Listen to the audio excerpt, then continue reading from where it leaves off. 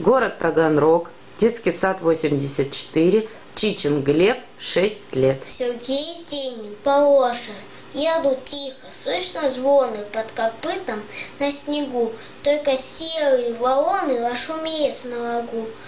Заколдован невидимкой ты лес по сказку сна, Словно белой косынкой повязался сна. Но нагнулась, как стружка, упилась на крюку, А на самую на макушкой долбит дятел на суку. Скачет конь по сторону, валит снег, Стелет шаль, бесконечная дорога, убегает лентой дай.